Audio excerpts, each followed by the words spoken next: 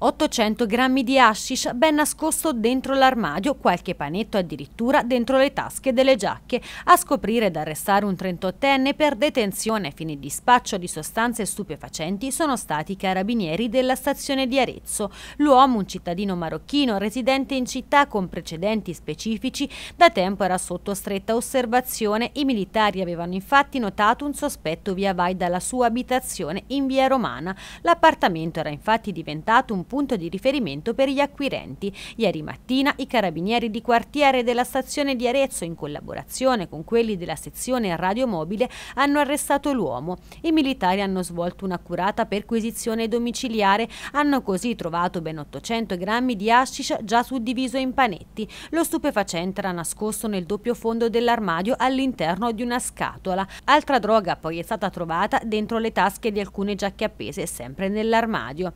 L'hashish, una una volta sul mercato avrebbe potuto fruttare al pusher sino a 10.000 euro. Per lui sono ovviamente scattate le manette, attualmente associato presso la Camera di sicurezza della stazione di Arezzo in attesa del rito direttissimo che avrà luogo domani.